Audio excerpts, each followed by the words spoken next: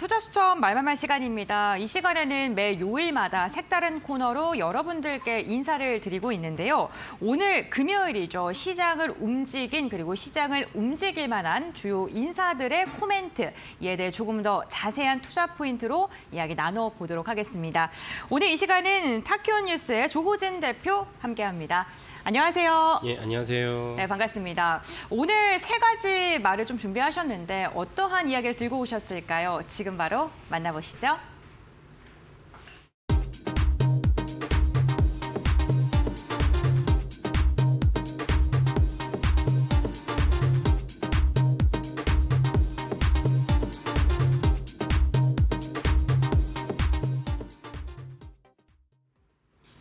네, 첫 번째 말말말은요. 어, 분리과세, 금투세 관련된 이야기 나눠봐야 될 것 같습니다. 4.10 총선이 마무리가 된 뒤에 금투세에 대한 걱정들 좀 많이 하고 계실 것 같은데요. 이에 대한 영향 또 어떤 게 있을지 이야기 나눠보겠습니다. 우선 어, 여소 야대가 앞으로 3년 정도 더 이어지다 보니까 정부가 추진하는 그런 여러 가지가 좀 제동이 걸릴 것이다. 이런 이야기가 나오고 있지 않습니까? 그렇죠. 네.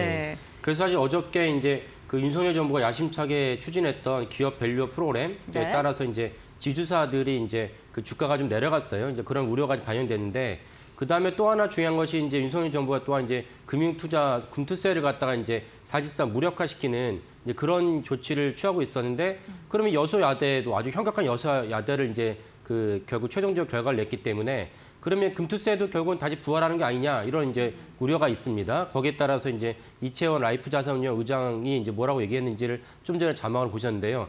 이거를 유예하거나 연기하는 게 맞다라고 얘기했습니다. 그래서 미국처럼 그 배당 금액이 얼마일지라도 단일 세제로 이제 그 세율을 매기는데 네. 우리나라는 사실은 배당 금액에 따라서 최대 거의 49% 그러니까 50% 정도의 세금을 부과하니까 그러면 사실 최대주 입장에서는 내가 배당을 했을 때 배당을 했을 때 얻는 실익이 생각보다 적다. 이러니까 배당을 주저하게 되거든요.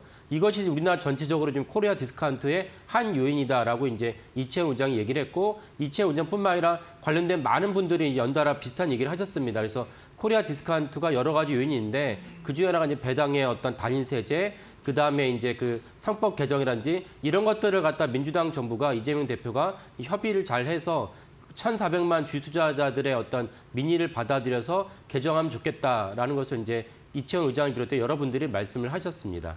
네, 근데 이제 뭐 어, 유예를 해야 되는 게 맞다라는 게 뭐 중론인 것 같은데 예. 사실 제동이 걸릴 가능성이 크다라는 이야기가 나올 수밖에 없거든요. 예, 예. 네, 동력이 약화되진 않을까요? 뭐 전망과는 다르게 약화될 수 있지 않습니까? 예, 그럴 네. 수 있죠. 그럴 수 네. 있는데 다만 좀 전에 제가 말씀드렸다시피 네. 1,400만 주투자 인구라는 거는 정치 지형에도 큰 영향을 끼쳤습니다.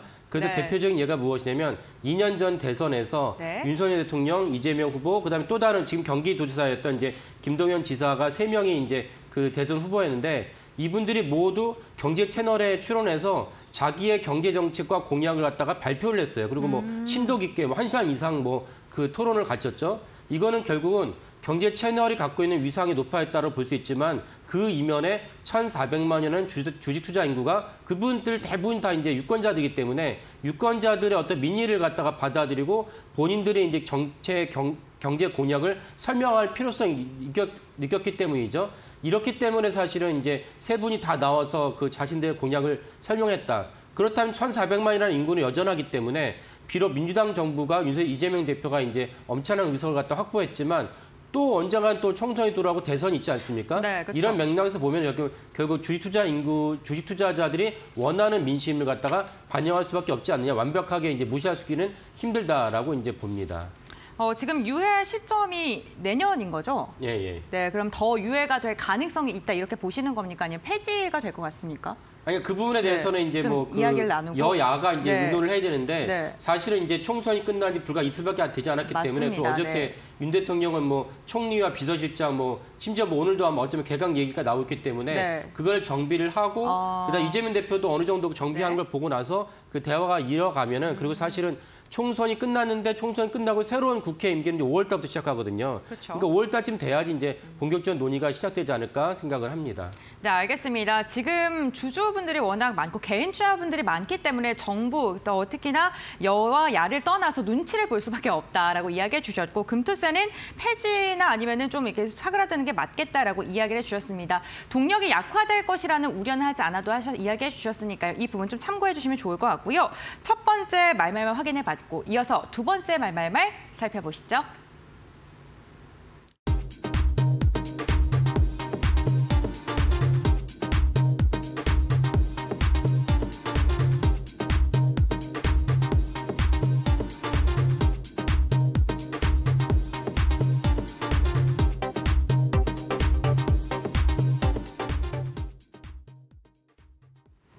자, 두 번째 말말말입니다. 스캇 데이비스 CEO가 이 플래시 낸드 가격이죠. 요 이런 것에 대한 이야기를 했는데 메모리 공급에 대한 이야기를 한번 해봐야 될 것 같습니다. 네, 우리 투자분들께서 정말 궁금해하시는 오늘도 상승하고 있는 반도체 관련 이야기이기 때문에 그렇죠. 네, 예, 예. 이분 좀 어떻게 보십니까?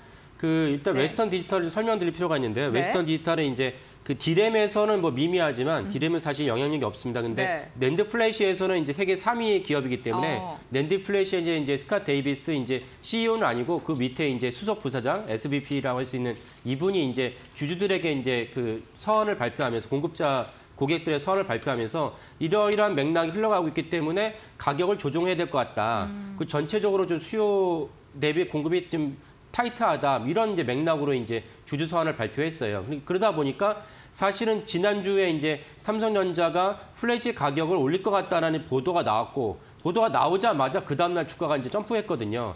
근데 사실 이거는 삼성전자를 취재한 언론 보도였지 삼성전자 임원이 뭐 공식적으로 발표한 건 아니었는데 오늘 제가 말씀드린 거는 이제 그 3위 기업인 플래시의 3위 기업인 이제 웨스턴 디지털의 이제 고 임원이 공급이 좀 부족하다. 그러니까 우리 가격을 좀 올려겠다라고 이제 발언을 했다는 것은 이거를 공식화했다. 그게 무슨 말씀이냐 이제 전체 전체적으로 메모리 반도체가 사실은 이제 공급 대비 이제 그 수요가 적었기 때문에 전체적 가격이 추락을 하면서 우리가 지난 한 1년 반 정도 엄청난 이제 고통을 겪지 않았습니까? 근데 이것이 이제 일단락 됐다고 반- 생각했는데 이거를 이제 스캇 데이비스 이제 SVP가 그고 임원이 이걸 갖다가 공식적으로 이제 확인해 줬다라고 볼 수가 있고 이 때문에 사실 우리나라 반도체 그 물론 이거 이거 외에도 오늘 이제 애플이 사실 블룸버그 보도에 따르면 이제 맥북에다가 애플도 이제 전용 칩을 만들고 있죠. M4를 갖다가 AI가 강화된 M4를 갖다가 이제 양산할 것이다라고 이제 블룸버그 보도가 나오면서 AI의 이제 모멘텀이 여전하다는 것이 확인됐습니다. 이것이 두 가지가 맞물리면서 사실 반도체 관련 기업들의 종목이 계속 오르고 있다라고 이제 이해하시면 좋을 것 같습니다. 네, 그렇군요. 어, 데이터 센터 증설을 하게 되면 당연히 낸드플래시에 대한 수요가 증가할 수밖에 없는데, 그렇죠? 네. 구글도 그렇고 뭐 아마존도 그렇고, 네. 네. 자체 칩 생산한다라는 이야기가 좀 지속적으로 나오고 있습니다. 어, 그렇다면 데이터 센터에 대한 확장 가능성, 이에 대한 국내 증시의 수혜 여전하다고 보십니까? 아 그렇죠. 네. 예, 그러니까 결국은 기존에 했던 그 데이터 센터, 센터에서 네. 이제 여러 가지 이제 검색 결과를 검색을 query라고 합니다. 네. query를 처리해야 되는데 이것이 수요가 많은데 그 공급이 제대로 음. 인프라가 받지 못하고 있으니까 데이터 센터를 곳곳에 지어야 돼요. 그 곳곳에 지어야 하니까 그에 따라서 지으려고 하면은 이제 거기에 따라서 이제 전, 전기를 공급해야 되고 전기를 공급하려고 하면 이제 송배전이 들어가야 되고 송배전을 들어가느니 차라리 이제 그 ESG, S, ESG라. ESS를 갖다가 통째로 엄청난 컨테이너선을 넘, 넘는 엄청난 이제 그 ESS를 갖다가 통째로 옆에다 옮겨 넣는 이런 것들에서 선인 시스템 같은 종목들 움직인 거거든요. 이런 전체적인 어떤 생태계가 활성화되고 그래서 이제 반도체 AI 챗 GPT는 이제 사실 시장 초입이다라고 이해할 수가 있고 엔비디아 주가가 너무 올랐지만 너무 올랐지만 사실 2000년 닷컴 버블과는 다른 차원이다. 닷컴 버블에서는 실체가 없었거든요. 우리가 새로운 시대로 들어가게 한- 들어가긴 했는데 여기서 실제 매출이 어떻게 나오는지 돈을 어떻게 버는지가 약간 주먹구구식이었어요. 근데 이제는 사실 진정하게 돈을 벌고 있고 그것이 재무제표에 찍히고 있기 때문에 닷컴 버블과는 다르다. 닷컴 버블과는 다른데 이제 시장 초입이다라고 보시면은 사실은 뭐 엔비디아나 관련된 뭐 SK 하이닉스나 어제 또 한미 반도체가 마이크론에 이제 공급한다고 이제 발표가 나면서 네. 한미 반도체 주가 한번 뛰었거든요. 네. 이런 거 관련도 여전히 시기적으로 이제 초입이라고 보시면 되는데 다만 여기서 그 대장주 실체가 있는 주식은 좀 가릴 필요가 있다라는 걸 말씀드리겠습니다. 결국 대장주의 가장 큰 지표는 무엇이냐? 대장주로 관련된 여러 가지 회사 종목들 갖다가 지난 6개월 동안 주가 차트를 보시면 가장 수익률이 좋은 기업이 대장주입니다.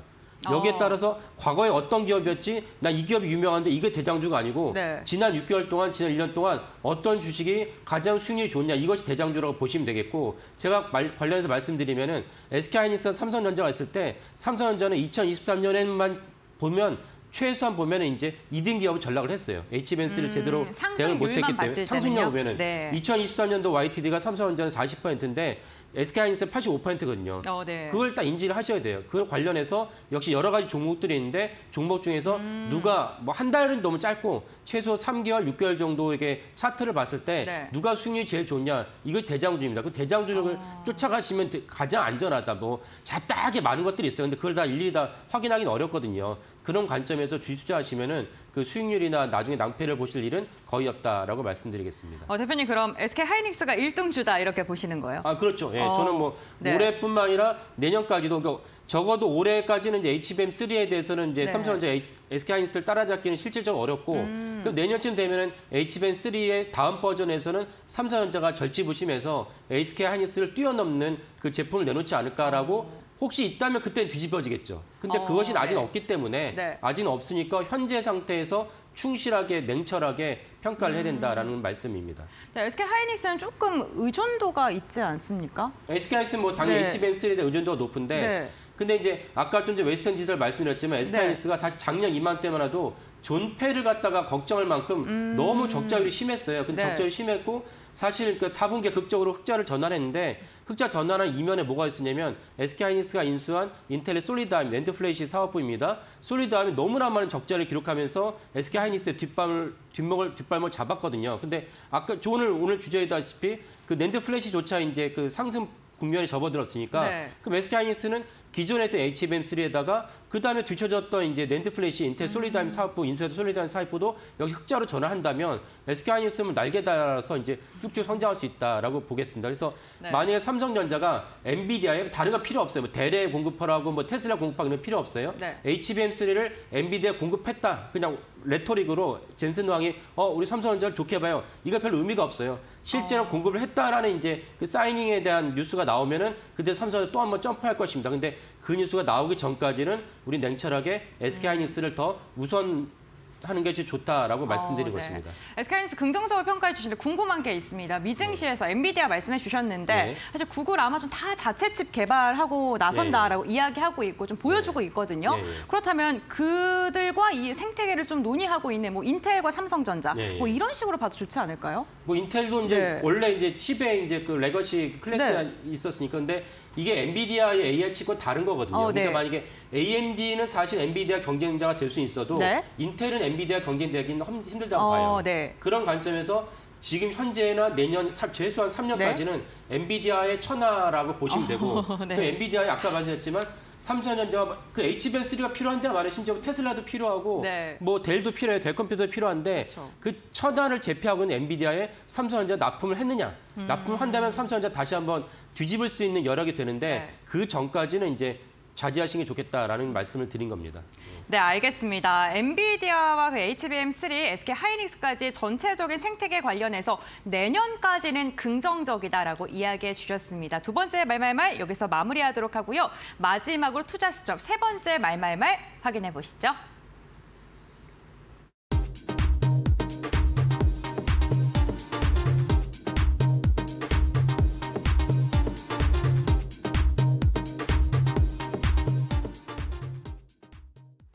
네, 세 번째 국내 증시에서 최근 가장 핫하다고 할 수 있는 변압기와 관련된 이야기입니다. 아, 지금 HD 현대일렉트릭이 정말 주목받고 있습니다. 예, 네, 맞습니다. 와, 진짜 수주를 몇 년 앞까지 지금 다 채워놨더라고요. 예, 예. 그 네, HD 일렉트릭이 이제 아까 말씀드린 이제 관련된 네. 변압기 관련된 종목들이 여러 가지 종목이 있습니다. 네. 효성 중공업이 있고 그쵸. HD 일렉트릭 있고 LS 일렉트릭 있고 그다음에 중소형 변압기는 재롱전, 재롱 전기 등이 있는데 재롱전기, 네. 여기서도 이제 관련된 종목들의 지난 6개월, 1년 정도 수익률을 보시면은 누가 대장주이냐? HD 일- 음. HD 그 현대 일렉트릭이 대장주입니다. 그 수익률로 분명한 평가가 되거든요. 근데 어제 조석 HD 현대 일렉트릭 CEO가 기자를 만나서 그런 말, 멘트를 하신 거예요. 2028년까지 주문이 꽉 찼다.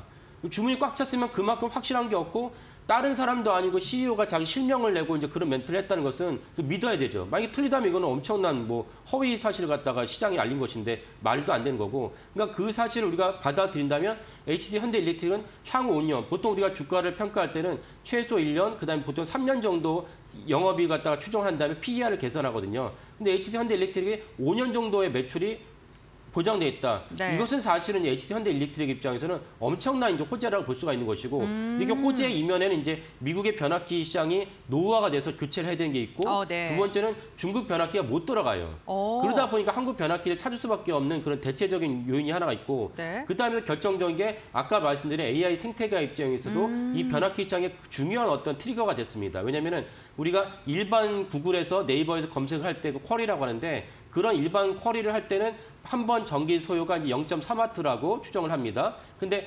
챗GPT로 그냥 챗GPT의 텍스트 검색을 할 때는 한 번 검색할 때마다 필요한 전력 소모량이 3와트예요.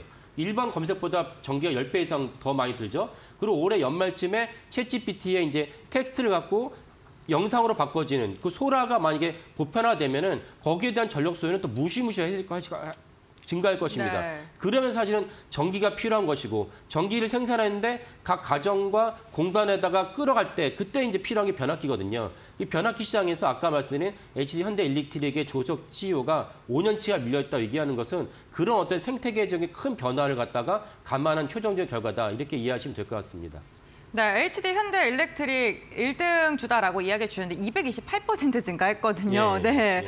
너무 많이 오른 거 아닙니까? 너무 많이 올랐는데 네. 이럴 때 부담이 갈 때 사실 어떻게 투자하시면 좋냐면은 네. 시장이 뭔가가 이상하게 확 떨어질 때가 있어요. 예를 들면은 이제 어저께 같은 경우도 미국에서 CPI가 올라가니까 우리나라가 40% 넘게 떨어지면서 개파락했거든요. 네. 이럴 때 눈여겨보는 종목을 보시다가 떨어진다 그러면 음. 이제 좋은 수익 창출 창출 기다려 들어가시면 돼요.